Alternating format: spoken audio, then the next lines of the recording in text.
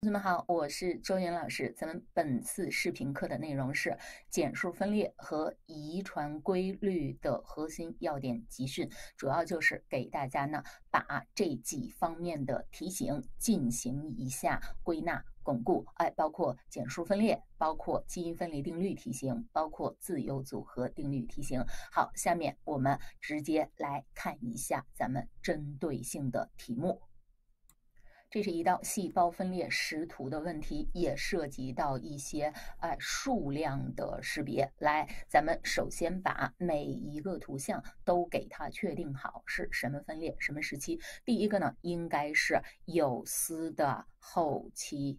有丝的后期，因为你会发现它是有同源染色体的，上面有两对同源染色体，下面有两对同源染色体，这是有丝的后期。那圈四呢，应该是减二的后期，虽然它俩呢在啊行文目的上是一样的，都是要把。姐妹原本的姐妹给它分开，但是呢，这个圈四很显然已经没有同源染色体了，因为在减一的时候，同源染色体呢已经分家了，分到两个刺激细胞里面去了。然后我们再来看圈二，这个呢比较典型是减一的中期。要减一的中期，呃，一对同源染色体还在联会，然后呢，到减一后期的时候呢，这个同源染色体就要分离了。然后圈三呢，应该是有丝的中期，有丝的中期，所以三的后一个时期不就是圈一吗？好嘞，这是动物体内细胞分裂各个时期的图像，这四个图，我们呢来看一下选项 A。次细胞名称是次级精母细胞或者集体。啊，这个呢没有问题，因为这个题目里面我们不能断定它到底是雌性动物呢还是雄性动物，呃，所以在减二的时候，呃，如果是雄性的话，那么它就是次级精母细胞，呃，它的细胞质是均等分裂的；如果是雌性的话，那么它的集体在分裂的时候也是。均等的，但是它的次级卵母细胞在分裂的时候，细胞质是不均等的，且不具有同源染色体。圈四肯定是没有同源染色体了，这个呢是正确的。二 B，动物的卵巢或者睾丸中有可能同时发现上述四种细胞，这个是没有问题的啊。比如在睾丸里面，精原细胞它自身也可以进行有丝分裂增殖啊，当然也可以发生减数分裂啊，各个时期的细胞呢都有可能出现，嗯。然后 C 选项，一二三细胞中均含有八个染色单体。同学们注意，一细胞是不是已经没有染色单体了？只要着丝粒一分裂，一条染色体成为两个子染色体，那染色单体呢就没有了。所以呢，这个八。条单体这个圈一就不符合，其他的像圈二、圈三，嗯，它都有单体，而且是四条染色体，八个单体是没有问题的。而且一二三这四呃三个图里面都是八个 DNA，肯定是没有问题的。所以 C 选项是错误的。四 D 选项，图二所示细胞状态往往导致非同源染色体的自由组合。那么在减一的时候发生了非常重要的变化，就是同源。染色体分离，非同源染色体自由组合。四 D 选项呢没有问题，这道题咱们选择 C 选项。来，同学们，这道题是非常典型的考察大家对减数分裂过程中染色体它的一个分配关系的这样的一个核心点的考察。呃，我们的减数分裂，它在减一是同源染色体分非同源染色体组合，呃，自由组合。然后呢，在减二的时候呢，分开的是原本的姐妹，所以一定抓住要点。减二的时候。呃，它的刺激细胞产生的两个啊，比如说精细胞，它是一模一样的。所以同学们来看一下，这是五个精细胞，这五个精细胞判断至少来自于几个初级细胞呢？同学们注意一下啊，精细胞我们找一模一样的精细胞，你看二和四，它的染色体是不是都是大白小白？哎，它俩是来自同一个刺激的。二和四是来自于同一个刺激，而且跟二和四同时产生的另外一个刺激细胞应该是谁呢？应该是一呀啊，就是大黑小黑呀啊，另外一个也是什么？大黑小黑，大黑小黑，所以同学们看看这四个精细胞，它是不是可以来自同一个初级细胞呀？可以吧？嗯，同一个初级细胞里面含有什么呢？含有一对儿大黑大白，一对儿，呃，一对儿呃小黑小白这样的两对儿。然后呢，它在减一的时候呢，大黑和小黑组合到一起了。啊，大白和小白组合到一起了，所以这两个刺激细胞再接着往下分产生的精细胞，不就是两个大白大呃大白这个小白的两个大黑小黑的，是不是就这种情况？哎，同学们呢，一定要把减一减二它的染色体的一个啊分配关系，把它搞得特别特别的清楚啊，记住。呃，我们的最终的精细胞是两两相同，不考虑交叉互换的话，两两相同就完事儿了。然后我们看，既然它们三个可以来自于同一个初级细胞，同一个精原细胞，那我们再来看看三和五可不可以来自同一个呢？三和五呢是大白和小黑组合，大黑和小白组合，看来也是 OK 的。也就是说啊，三。跟三同时产生的那个精细胞，也就是说，三和谁来自同一个刺激细胞呢？应该是大白小黑呀，大白小黑呀，它俩来自同一个刺激细胞。然后五呢，五和五同时产生的跟它是一模一样的那个精细胞，那个染色体组成啊，那就应该是大黑小白。大黑、小白，所以你看看这四个精细胞来自于两个刺激细胞，其中有一个刺激细胞是什么呢？是大白、小黑的染色体，另外一个刺激细胞是大黑、小白的染色体，所以它们可以来自于同一个初级。因此，我们分析着。至少需要什么呀？需要这两个初级细胞，因此咱们的答案应该选择二 B 选项。同学们，这是核心问题。如果咱们学减数分裂，连减数分裂它的染色体的分配关系都搞不清楚，相当于没有把减数呃分裂过程学明白，好吗？啊，这是要点，同学们呢一定要掌握。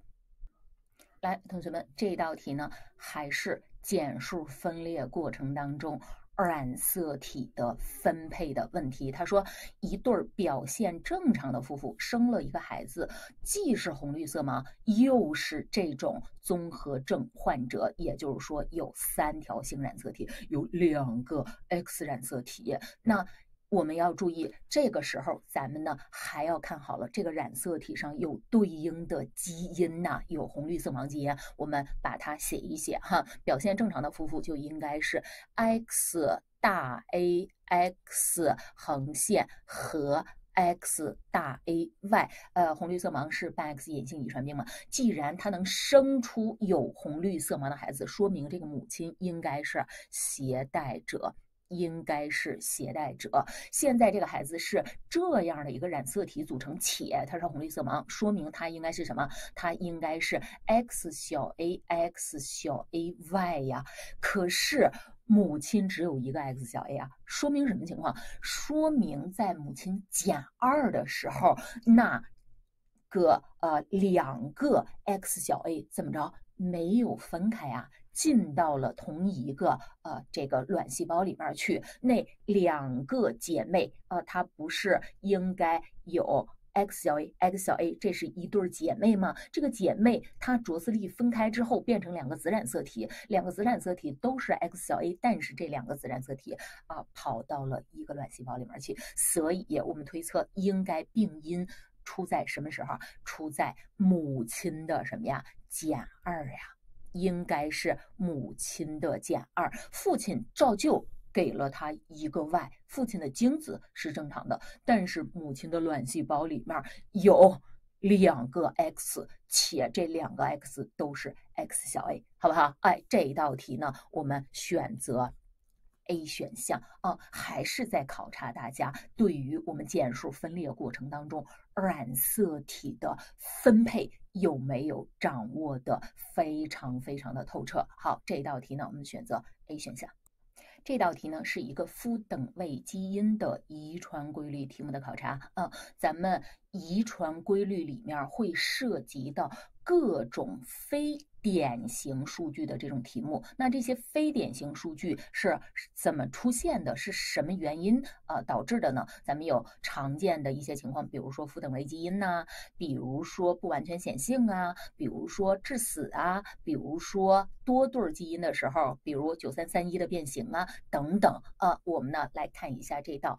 呃，这个夫等位基因的问题，嗯，他说呢，喷瓜的性别是夫等位基因这三个基因来决定的。呃，那么大 D 对于 A 加，A 大 D 对于 A 加是显性，A 加对于 A 小 D 是显性，上下位关系、显影关系告诉大家了。然后呢，只要是 A 大 D 的就是雄性，所以 A 大 D 的都是。雄性，你甭管 A 大 D 另外一个 A 是什么，可以是 A 大 D A 大 D，当然也可以是 A 大 D A 加，也可以是 A 大 D 呃 A 小 D 都 OK 的啊。然后呢，他又说没有大 D 有 A 加是雌雄同体，好，雌雄同体，也就是说只要有 A 加就是雌雄同体。那 A 加你至于是 A 加 A 加呢？还是呃这个呃 A 加 A 小 D 呢，随你的便，反正就属于雌雄同体了，因为 A 加对 A 小 D 是上位关系，是显性哈，然后剩下的是雌性，雌性是什么呢？是 A 小 D 的。就是雌性，那也就是 A 小 d A 小 d 这种基因型的，它是雌性。好，下列叙述正确的是 A，喷瓜的性别分别由不同的性染色体决定。很明显，人家说了，这是基因型来决定的，不是性染色体决定的。A 错误。二 B，雌雄同株的盆瓜群体进行随机授粉，雌雄同株的不是有两种情况吗？呢，A 加 A 加这种情况的，还有 A。加 A D 在整个群体里面，这两种情况可能同时存在，哪怕这个群体里面只有 A 加 A 加，或者只有 A 加 A D 啊，整个群体里面按理来说，他们都占一定的比例，有呃两种情况都存在，是吧？他说进行随机授粉，进行随机授粉，那就是可以自交，可以相互交配都 OK。他说，呃，这个子代纯合子与杂合子的这个比例是一比一，同学们来看看呀，啊，这个 A 加 A 加，嗯，它如果啊自交的话，后代是不是就都是重合的？那你再加上 A 加 A D 呢？A 加 A D 如果它是自交的话，是不是后代呃有一半的重合，一半的杂合？呃，后代是 A 加 A 加，还有 A 加 A D，还有 A D A D。一比二比一嘛，呃，其中中间的那个二，也就是呃四分之二二分之一是杂合的，剩余的 A 加 A 加 A D A D 是不是都是纯合的？你会发现，如果它啊纯粹的只是它的话，那后代都是纯的；如果纯粹的只是它的话，后代是一半纯的，一半杂的。现在它俩混在一起的话，那肯定还是纯的比例高呀。子代纯的比例高呀，对不对？只要这个群体里面啊有一丁点儿 A 加 A 加的存在，再加上 A 加 A D，那肯定是子代纯合的比例会更高一些嘛。纯粹只有 A 加 A D 的时候是纯杂。各占一半，那你再搭上点 A 加 A 加呢？那是不是纯合的比例就高了，对吧？啊，哪怕咱们给它分成三种情况讨论，这个群体里面只有 A 加 A 加，那后代全都是纯的；这个子呃群体里面只有 A 加 A D，那后代是什么呢？一比一啊。如果群体两种情况都有，那肯定也是后代纯的。多于杂的，所以他说啊，子带纯的杂的一比一，这是不是不准确啊？OK，二 B 选项错误。然后我们看 C 选项，这俩家伙杂交产生的后代表现型，雄的雌雄同株的是三比一。有同学在这儿开始，老师我算一下吧啊，我这遗传图解，然后后代 A 大 D，A 大 D，A 大 D，A 小 D，嗯，A 加 A 大 D，哎，这仨全都是雄的，然后怎么怎么样，还在那算半天。你有没有发现一个 bug，同学们？呃，这个家伙我和这个家伙都是什么？都是雄猪，所以雄猪和雄猪都是精子产生的，它们不能交配的，好不好，同学们？所以这个 C 选项呢，我们认为是错的。嗯，雌雄同株可以自交，雌雄同株也可以跟雄猪杂交，也可以跟雌猪杂交。是不是啊？那么雌的跟雌的它没有办法杂交，雄的跟雄的它也没有办法杂交，好吗？那我们只剩下了四 D 选项可选了，看看四 D 选项是不是正确的啊？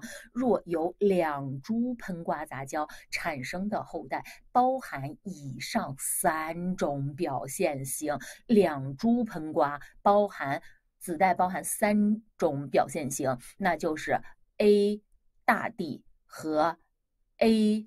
小 d 啊，那么两株喷瓜杂交和 A 加 A 小 d，他们看看，只有这种情况下，后代能出现三种表现型。后代这三种表现型是什么呢？是 A 大 D、A 加 A 大 D、A 小 d、A 加 A 小 d 以及 A 小 d。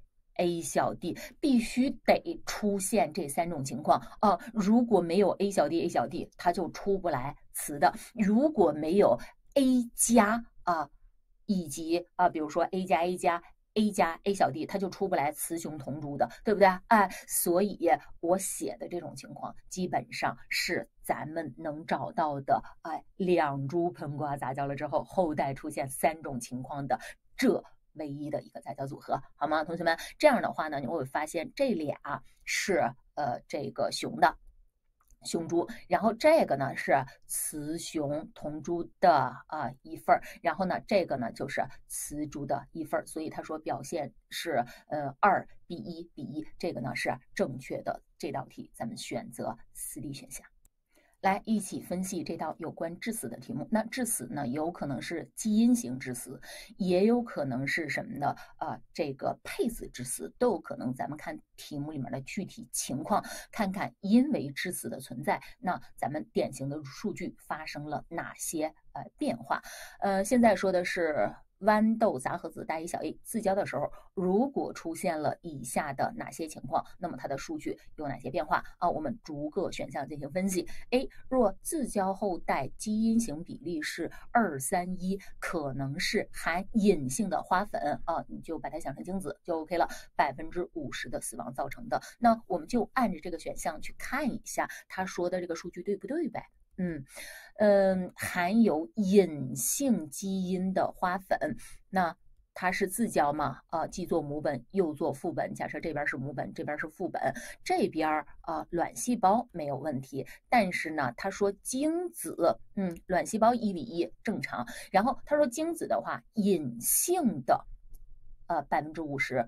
死亡，那百分之五十死亡就相当于它剩下二分之一，它还是意外。那这个比例应该就变成了多少？同学们就变成了二比一呀！哎，所以精卵结合产生的后代就应该是大 A 大 A 多少？大 A 大 A 二，然后呢大 A 小 a 呃。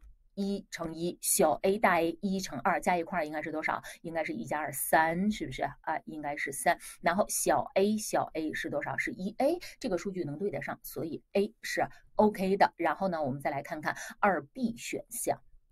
二 B 选项，他说，如果自交后代的基因型比例是二比三比一，可能是隐性个体有百分之五十的死亡。那 A 对了，是不是二 B 就错了？如果隐性个体原本咱们是大 A 小 a 大 A 小 a，后代是大 A 大 A 大 A 小 a 小 a 小 a 一比二比一，那如果是隐性个体。百分之五十死亡的话，这儿剩下二分之一，那应该是什么？应该是二比四比一才行，对不对？不是二比三比一，好吗，同学们？嗯，那我们来看一下 C 选项，若自交后代的基因型比例是四四一，可能是含隐性基因的配子，百分之五十死亡。那我们再继续写一下，大 A 小 a，大 A 小 a，百分之五十死亡，也就是说，嗯，也就是说，呃，隐性。这个也是百分之四五十死亡，那就是二比一呗，对不对啊？它剩下二分之一，它还是一，那比例就是二比一。然后这边呢也是大 A 小 a 二比一。那同学们来看一下啊，这个受精得到的子代应该是大 A 大 A 大 A 小 a 小 a 小 a 大 A 大 A 是不是二乘二得四啊？然后呢大 A 小 a 啊大 A 小 a 二。小 a 大 A 二加一块也是四，然后最后小 a 小 a 一，哎，这个呢也是对的，C 选项也是对的。然后看四 D 选项，若自交后代是一二一，可能是花粉，有百分之五十的死亡。好，同学们，整个的花粉有百分之五十的死亡。假设这边是母本，这边是父本，那么它卵细胞没有任何的影响。然后呢，精子的话呢是大 A 小 a，它整整个有百分之五的死亡，并不是说大 A 死亡百分之五十，或者小 A 死亡百分之五十。所以你这儿是一比一，你这儿原本是一比一，呃，它剩下二分之一，它也剩下二分之一，那还是一比一啊，不会影响后代的比例情况，但是会影响后代的总数量会减少，是不是，同学们啊？总数量会减少，那比例上呢，还是一比二比一，跟我们的那个典型数据呢还是一样的啊，就是。呃，大 A 横线，呃，然后那个呃小 a 小 a 三比一啊，其中大 A 大 A 大 A 小 a 小 a 小 a 一二一这样的情况，所以四 D 选项呢也是正确的。这道题咱们选择二 B 选项错误。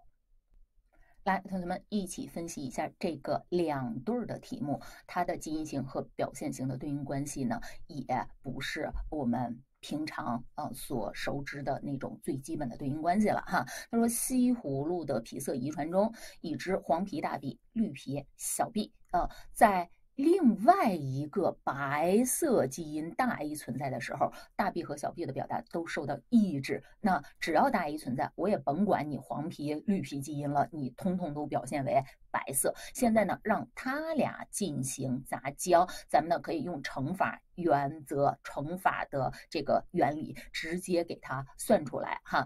那 A 这一对儿，同学们能知道它的后代，嗯，这不是相当于自交的吗？它的表现型 A 这一对儿。后代的话，那就应该是大 A 横线，呃，这个小 a 小 a。呃，三比一的情况是不是啊？应该是占四分之三四分之一。然后呢，B 那一对儿的话呢，就是一个侧交的情况，子代就是大 B 小 B 小 B 小 B 各占二分之一。有同学说，老师，后代的表现型种类及其比例，我知道哦。那个表现型的话，就是这边两种表现型，这边两种表现型乘一块儿就是四种表现型。但是你得把题目里面的新信息用进去啊。人家说了，大 A 存在的时候，甭管你大 B 小 B 了，都。不表现都是白色了，所以呢，我们把它写一写呗。嗯，它应该是大 A 横线，大 B 小 b。这是我们原本认为的，它应该是四分之三乘以二分之一，应该是八分之三的比例，对吧？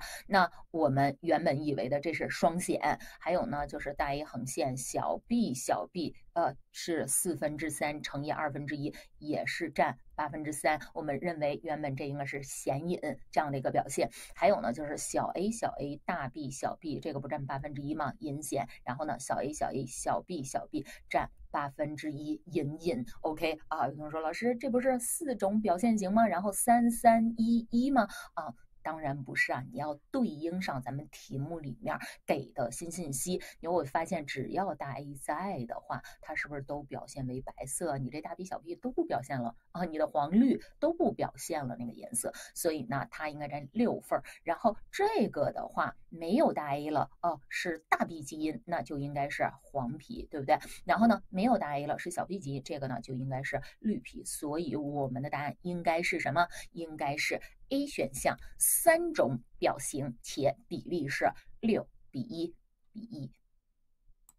来，同学们，咱们再来分析一下这种多对基因的数据考察的题目。哎，同学们看到六十四分之二十七这样的数，是不是还是挺高兴的？咱们在前面的课程呢，给大家说过啊，我们的这个整体六十四也好，或者是整体十六也好，你看到以后呢，要特别敏感。看到这个数的话，你们感觉是什么？感觉特别像四分之三的什么呀？啊，三次方，是不是？哎，这个数它就是这么来的啊，也就是说有三对儿自交，嗯，得来的。这样的一个数，那我们来看看呗。这个题其实相当于也不用读，好像我们直接就把答案选出来。有同学说：“老师，你不用说了，我知道这一道题咱们选择二 B 选项，不就是三对儿都杂合自交，能得到六十四分之二十七这个数吗？”那我们好歹来读一下题吧。他说呢，这个玉米籽粒的颜色呢有白、红、紫三种，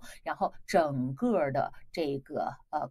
相关物质的合成途径是这样的一个途径：必须有大 M 基因才能出现白色乙，必须有大 A 基因才能出现红色丙，然后呢，必须有大 E 基因才能出现紫色丁。也就是说，必须是大 M、大 N、大 E 同时存在的时候才出现紫色呀啊！所以他拿一个紫玉米自交后代出现紫色的概率是六十四分之二十七。那在这个紫玉米显然得是一个三杂合子。就是这个家伙，他自交得到的后代是大 M 横线、大 N 横线、大 E 横线的概率应该是多少？四分之三乘以四分之三乘以四分之三，是不是就等于六十四分之二十七啊？以后看到这种比较大的数，不但不害怕，而且特别高兴，因为能够又快又准，把它直接分析出来。好，这道题咱们就直接选二 B。来，同学们，咱们继续看这道题。刚才那道题呢，是告诉了你子代的一个比例，然后让你去推亲代是啊怎样的一个。呃，基因组成有几对儿，然后基因组成是什么？这个呢，干脆直接给你说了啊，说这个基因型是这样的，两个亲本杂交，后代出现黑色子代的概率，而且呢，咱们要把基因型跟表型的对应关系给它对应上。题目里面这个啊，已经告诉你这个呃关系了，必须得是大 A 基因才能出现物质甲，小 B 基因才能出现物质乙，小 E 基因才能出现黑色素。它不是让你求最后黑色子代的概率吗？所以呃，基因型都是它的两个亲本杂交，也就相当于这个基因型自交嘛。来，我们来看看，嗯，它嗯相当于它自交哈，我就直接这么写吧啊。然后呢，嗯，我给大家写精准一点啊，这样来写，就是大 A 小 a 大 B 小 b 大 E 小 e 和大 A 小 a 大 B 小 b 大 E 小 e，呃，它们。杂交，然后问你后代，呃，黑色子代占的这个概率是多少？那就应该是大 A 横线，小 b 小 b 小 e 小 e。那咱们三对儿，呃，它的那个整体。下面的那个分母应该是多少？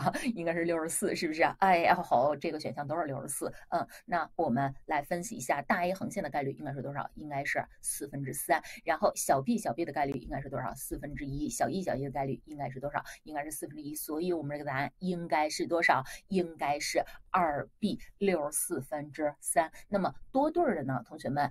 正着算，肯定用乘法原理能够特别快的呃算出来。比如就是我们这道题，注意一下基因型跟表现型的对应关系就行了。然后像我们刚才上一道题的话，咱们是知道子代往回推，同学们这个数据呢也要特别的敏感。总之多对儿的，我们用乘法原理来解题的话，其实嗯并没有那么的难啊。咱们呢对数据敏感，能够又快又准的秒杀。好，这道题我们分析完毕。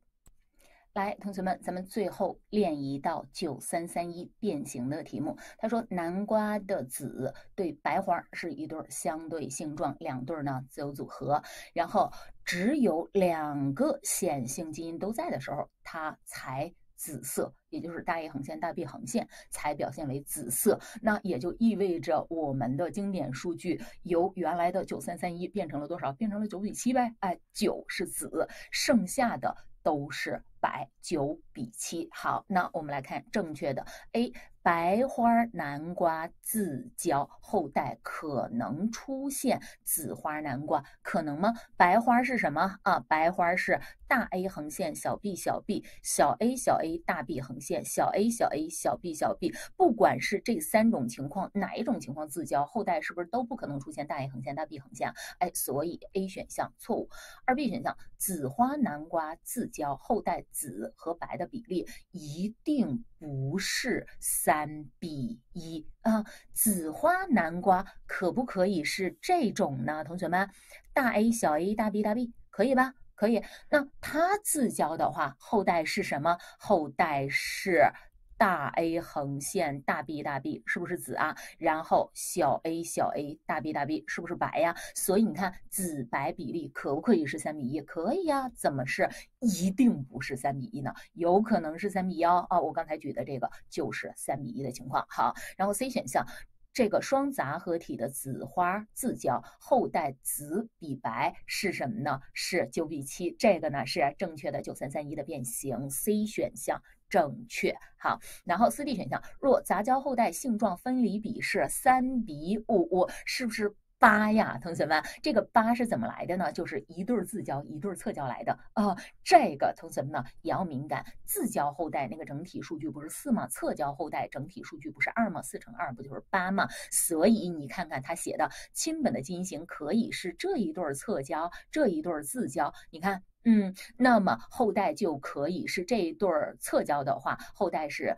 大 A 小 a 小 a 小 a 各占二分之一嘛。然后呃大 B 小 b 大 B 小 b 这一对自交的话，那后代不就是呃大 B 横线占四分之三，小 b 小 b 占四分之一嘛，对不对啊？所以呢，后代会出现一个三比五这样的一个。呃，比值呃，整体是一个八。那既然是一对自交，一对侧交，可以是 A 这对侧交，B 这对自交。那反过来当然也可以是 A 这一对自交，B 这一对侧交，是不是也 OK 呀？所以这个可以，那这个呢也就可以，因为它没有明确说哪一个是三，哪一个是五，对不对啊？所以我们啊直接这样去考虑，很轻松就能考虑。出来，既然这个情况是符合的，那这个情况呢，也就是符合的啊。当然，某些题里面它要你具体的对应一下基因型和表现型的关系，具体哪一对自交，哪一对侧交，有的题里面是限定的，而这道题里面显然是没有限定的。好，这道题呢，咱们选择 C 选项。本次视频，周老师呢带着大家对这些重要的考点考法进行了针对性的题目训练，包括简数分裂各个时期它的特点是什么，图像能不能立马快速的准确识别出来，还有我们细胞分裂过程当中染色体等那些数量分别是多少，同学们呢一定要精准的判断出来，还有简数分裂过程当中染色体的分配规律，这是一个核心要。点，同学们呢一定要掌握，包括我们的一些遗传规律里面的非典型数据的题目，比如说负等位基因的题目，比如说九三三一的变形，比如说致死类的题目，咱们呢也进行了相应的训练，还有我们。多对儿基因的题型，那个数据呢也要敏感。以上就是我们本次视频课的所有的内容。我们后续的课程呢有更多精彩的内容，同学们呢一定记得观看。好，本次课就到这里，同学们再见。